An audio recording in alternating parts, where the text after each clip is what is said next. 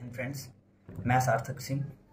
मैं अपने इस वीडियो में आज दो इंपॉर्टेंट टॉपिक्स डिस्कस करने वाला हूँ। एक तो ईएफटीए और यूरोपीय यूनियन का रिलेशन और दूसरा एक नया टर्म शायद वो आप लोगों ने सुना भी ना हो। स्पेशली वो ध्यान दें जो यूपीएससी और एसएससी की प्रिपरेशन कर रहे हैं।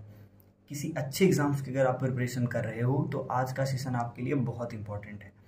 एक टर्म होता है सेनजेन वीज़ा या सेनजेन एरिया भी आप कह सकते हो।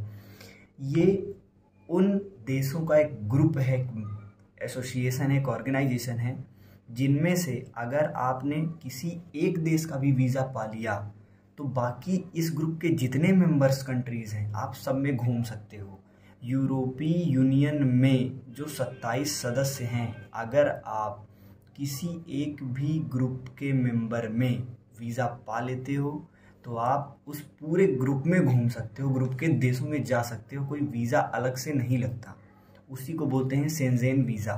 तो याद रखिए, जो ई एफ़ टी ए के जो चार सदस्य हैं, वो यूरोपीय यूनियन के तो सदस्य नहीं हैं बट इस सेंजेन वीज़ा वाले ग्रुप के मेंबर्स हैं। इसलिए इन चारों देशों को, जिनमें स्विट्ज़रलैंड लिंचेस्टीन आइसलैंड और नॉर्वे आते हैं, इन चारों को कुछ प्रिविलेजेस मिल जाती हैं।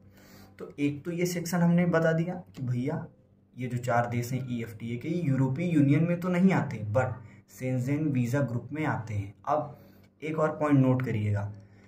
चार ऐसे भी देश हैं जो यूरोपीय यूनियन के सदस्य तो हैं but they are not the part of Schengen visa वो चार देश कौन से हैं?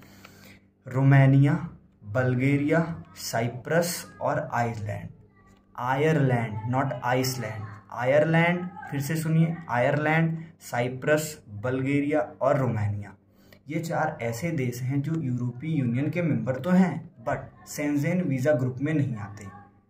ठीक है, ये सेशन बहुत इंपॉर्टेंट था, खासकर यूपीएससी एस्पिरेंट्स के लिए मैं बार बार बोल रहा हूँ। आपके पेपर में ऐसे क्वेश्चन बहुत बार पूछे जाते हैं। आपको ये इन्फॉर्मेशन कैसी लगी कमेंट करके